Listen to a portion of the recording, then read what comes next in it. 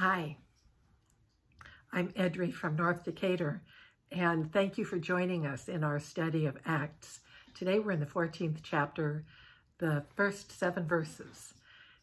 Paul and Silas are once again, no, Paul and Barnabas, excuse me, preaching the good news of Jesus Christ, and they start in the temple, and some folks receive that well, and some folks don't receive it so well and the fellas go to the marketplace and preach the good news of Jesus Christ. Same story, different location. Yesterday, Patrick used the expression from the temple to the market square.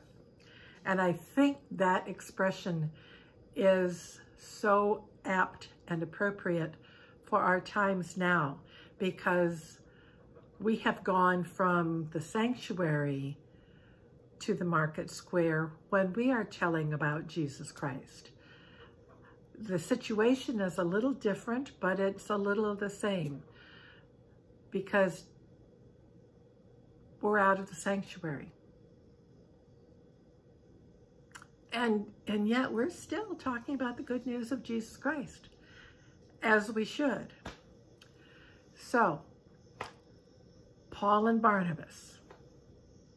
Paul and Barnabas remind me of a fellow I met at seminary. He was a Vietnamese pastor, and he was a Vietnamese pastor in Vietnam in the 70s when that was not legal. And he would get beat up and thrown in jail a lot for preaching the gospel of Jesus Christ. And sometimes he would have an opportunity to share that message of Jesus Christ with his jailers who became followers of Jesus.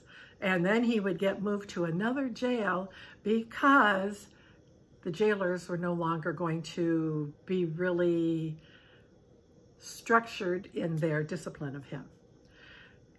And every time he was moved to another jail or had to present a sermon manuscript to a judge, he viewed it as, yes, this is hard, and yes, I get physically abused, but it's another opportunity to preach the gospel of Jesus Christ.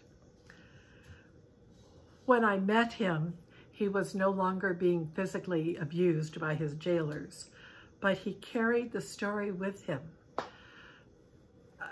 recently, as I heard many of the memorials to John Lewis, I realized every time he was jailed, it was an opportunity to, if not preach the good news of Jesus Christ, his good trouble was always about loving one's neighbor and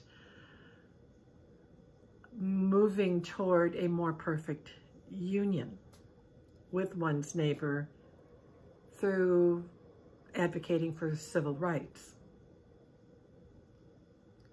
I wonder if every time he went to jail, he thought, well, this is another opportunity to preach the gospel of Jesus Christ. Every time Paul and Barnabas got into a scuffle and escaped town with the skin on their backs, I wonder if they thought, oh, this is how we move the gospel of Jesus Christ forward to another community. This is how we share the word. It wasn't an easy way of life. Tron's way wasn't easy.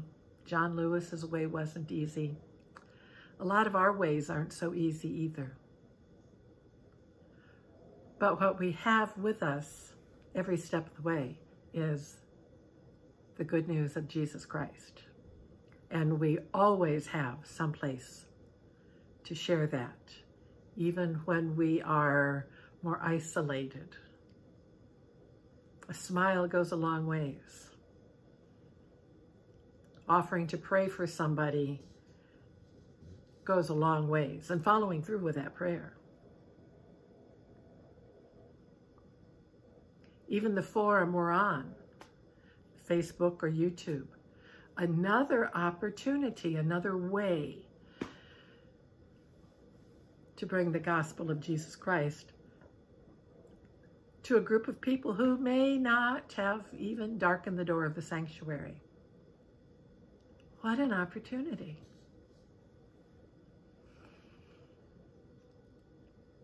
Thank you for being part of this journey.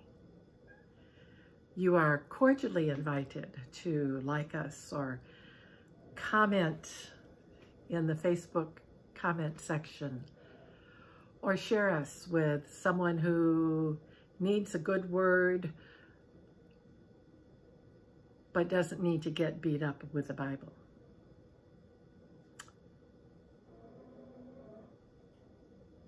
Times are hard.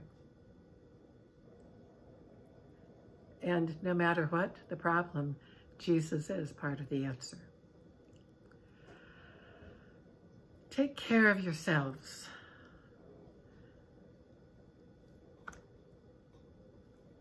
I long to see you in person sometime soon. And when I see one of you in person, I get way excited. Until we meet face to face, be well, be loved as the wonderful child of God you are. Bye.